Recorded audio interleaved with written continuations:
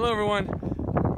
Walk that way, walk that way. I have two groups these cattle I put together. One group of cows been running with Charlotte, uh, Charlotte bulls, the Brahman bulls since March.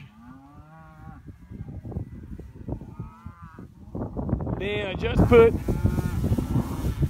30 or 28 of these girls last week. And last week it's, I guess the end of last week of June and synchronized put Brahman bulls with them. Kind of, it's kind of funny. I've got uh, like nine Brahmans in here. The Brahmans hang out by themselves. So I do have nine Brahmans in this pasture that are also breds.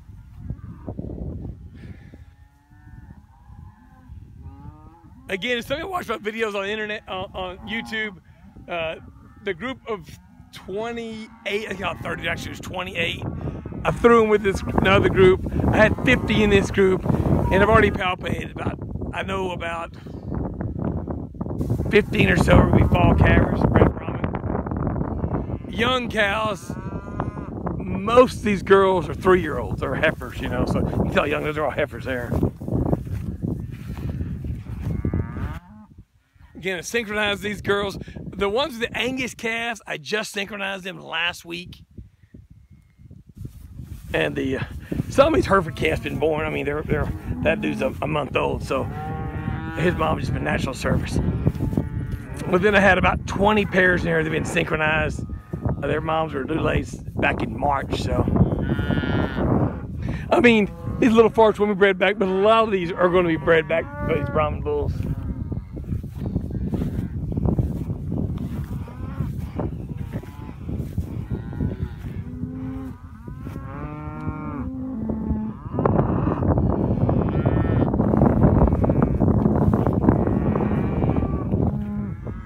Video northern northern producers buy these calves, these cattle, and don't want the Brahman calves. At weaning, I'll buy the F1s back.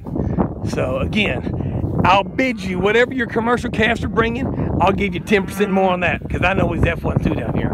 So I'll bid you a straight rate on all your F1s. Man, Missouri's been contacting, why don't you breed Brahman? Why don't you Brahman? Because, you know, if these go north, I'll, uh, he said, why don't you breed them Angus? Well, I like it, Angus, but man, down here in the south, ah. F1's king. F1 Braford, that's, that's, that's king.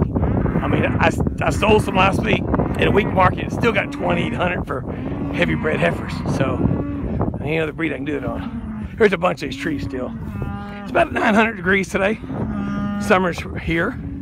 Walk on out, girls. Bunch of cattle in this pasture. Again, I got like 10 or 12 Brahmans that are springing, two pairs uh, bred cows.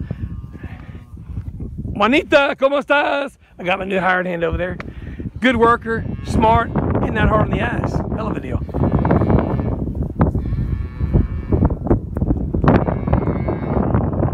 Come on girls. Again, red calf, the Hereford calf, these, you know, uh, there's a I think I got four of them have smaller babies on them, been born the past month.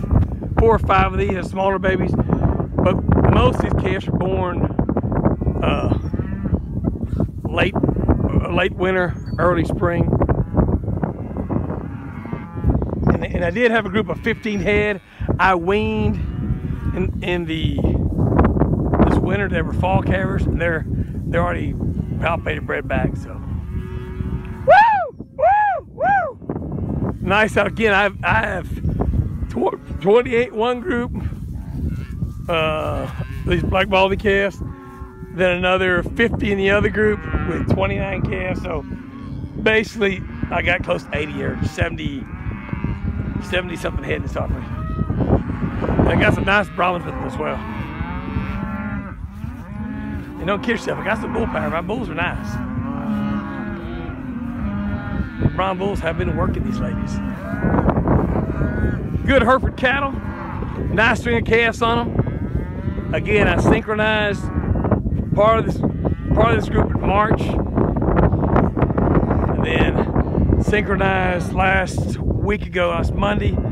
I synchronized 28 of them, and then I have five or six have smaller babies that obviously hadn't bred back yet. Good cattle outside of Bastrop, Texas. You know, I'm playing Hobbits. Again, these young Brahmans are for sale, and so are these, obviously, Herefords.